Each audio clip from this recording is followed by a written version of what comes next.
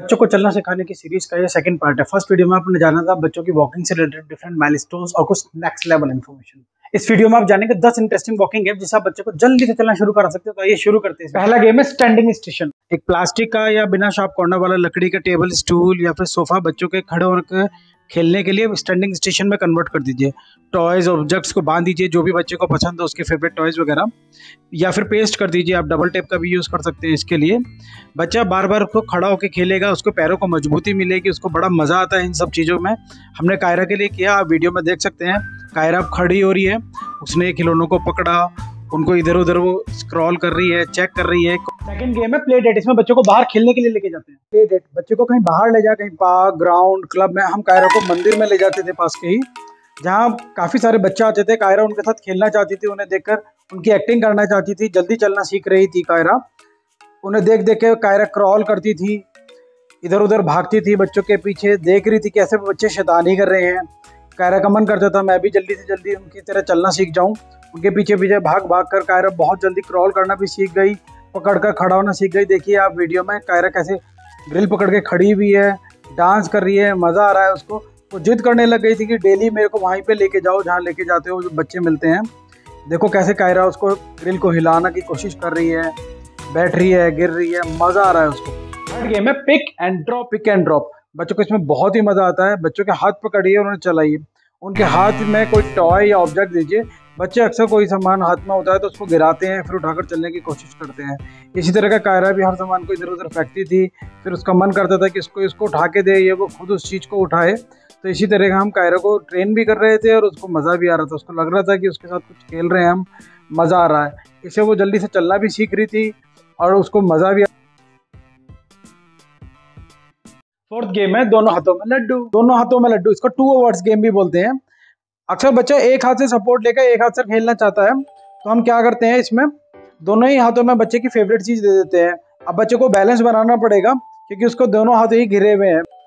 इस तरह जब दोनों हाथ बिज़ी रहेंगे बच्चे के तो बच्चा इंडिपेंडेंटली खड़ा रहेगा। कॉन्फिडेंस और स्ट्रेंथ बिल्ड होगी बच्चे की।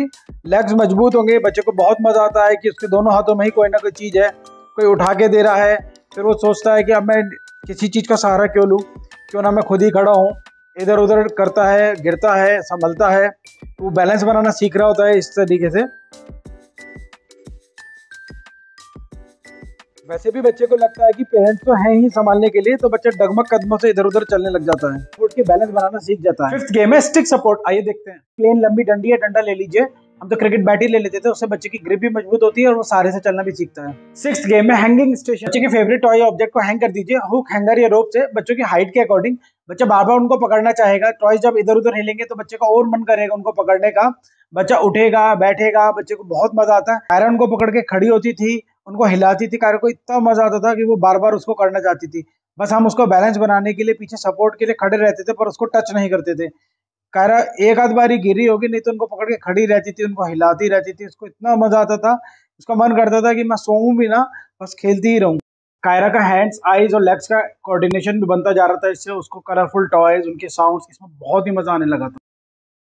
सेवेंथ गेम है। एक्टिविटी टेबल एक्टिविटी गेम में कायरा को इतना मज़ा आता था कि वो पूरे दिन चाहती थी कि मैं बर्तन बजाती रहूँ ड्रम बजाती रहूँ म्यूज़िक सुनती रहूँ। उसको खड़े होने के लिए मिलता था। धीरे धीरे आती थी और सोफे को पकड़ के खड़ी आती क्योंकि सोफे पे ही हमने एक्टिविटी टेबल बनाई हुई थी। उसको मज़ा आता रहता था, हमें भी बड़ा अच्छा लगता था देख के कि कायरा इस बहाने खड़ी हो रही है, चल रही है डांस करने लग जाती थी वो सब साउंड सुन के। इसमें आप और भी कुछ कॉम्बिनेशन कर सकते हैं, इसके बजाय आप म्यूज़िक की कोई और चीज़ लगा सकते हैं। बार बार कायरा खड़ी होती थी, देखो उसका बम कैसे हिल रहा है, उसको बड़ा मज़ा आता था इसमें। इससे कायरा का म्यूज़िक के लिए भी लगाव बढ़ने लगा। उसको अगर हम मोबाइल में सॉन्ग्स वगैरह चलाते थे, हम केवल ऑडियो चलाते थे वीडियो नहीं दिखाते हैं छोटे बच्चे को, उसको बड़ा मज़ा आता था, उनको झूमने लग गई थी, उसको ऐसा लगता था कि हाँ मैं शायद एक्टिविटीज़ कर रही हूँ, इसमें बड़ा मज़ा आता था, हम भी उसके आगे झूम के दिखाते थे, उसको इतना मज़ा आने लगा था वो बार बार जाना चाहती थी कि मेरे को एक्टिविटी टेबल पर ले आप सबको चैनल सब्सक्राइब करने के लिए कह रही है। एट्थ गेम है हर्डल गेम बच्चा बैट पे, दरी कारपेट पे चल रहा हो तो बीच में हर्डल्स लगा दीजिए, जैसे पिलो या सॉफ्ट टॉयज लगा दीजिए। बच्चा उनसे बचकर चढ़ने की कोशिश करेगा। इसमें बहुत ही फन होता है और बच्चे को सीखने को भी मिलता है। अलग अलग सरफेसिस पे वो चलना सीखता है।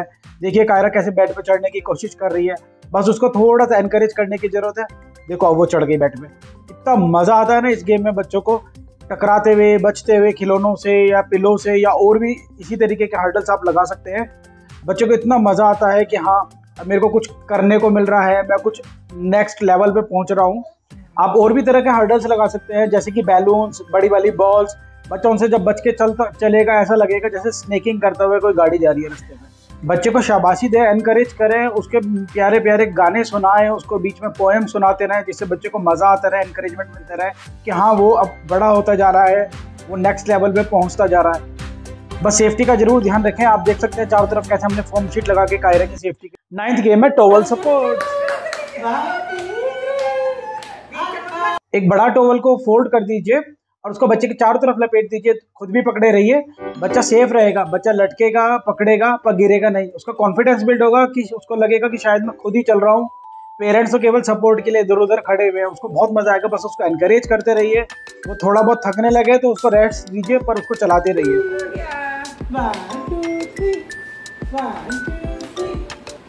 टेंथ गेम है ट्रेजर हंट बच्चे के टॉयज या छोटी मोटी कोई फेवरेट ऑब्जेक्ट्स दीवार पर पेस्ट कर दीजिए।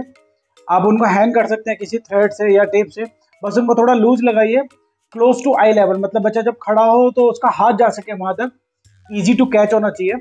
बच्चा खड़ा होएगा उनको देख के, उसका मन करेगा, ललचाएगा कि क्यों ना मैं उनको कैच कर लूँ, पकड़ लूँ, ढूंढूं। तो वो चल कर उठ कर उन तक पहुँचेगा। उनसे खेलेगा। और एक बोनस गेम है फीट ऑन फीट बच्चे को अपने दोनों पैरों के पंजों पर खड़ा कीजिए। आपकी तरफ़ फेस करा हुआ बच्चे ने और पीछे की तरफ़ चलिए। धीरे धीरे चलिए, इससे बच्चा आपके कदम से कदम मिलाकर चलना सीखेगा। ये आपके बच्चे को चलने की प्रैक्टिस कराएगा। बच्चा रेसिप्रोकली आपको इमिटेट करेगा कॉपी करेगा और वो धीरे धीरे बैलेंस बनाना भी सीखेगा और चलना सीखेगा कि कैसे कदम रखने होते हैं। बस उसका हाथ ज़्यादा ऊँचे मत पकड़िए, थोड़ा सा लेवल पे रखिए। आपके लिए एक और बोनस गेम है, साइकिल ही होगा बेड पे लेटा के बच्चों को साइकिल योगा कराइए, जैसे जिम में भी हम लोग करा करते हैं। इससे बच्चों को स्ट्रेंथ भी मिलेगी गेम भी हो जाएगा बच्चे का, और बच्चे की स्ट्रेचिंग भी होगी। बच्चों को पता भी नहीं चलेगा कब खेल खेल में वो चलना भी सीख जाएँगे। क्या आपको भी अपने बच्चे को चलना सिखाने की जल्दी है तो जल्दी से नीचे कमेंट सेक्शन में बताइए। बच्चों को चलना सिखाने के मज़ेदार गेम्स खिलाते हुए आपको फुल स्कोर मिलेगा। एक जगह और आप स्कोर बढ़ा सकते हैं, नीचे सब्सक्राइब बटन पर प्रेस करके। होप आपको वीडियो पसंद आएगी तो इसको लाइक कर दो शेयर करो से, मिलते हैं नेक्स्ट वीडियो में। बाय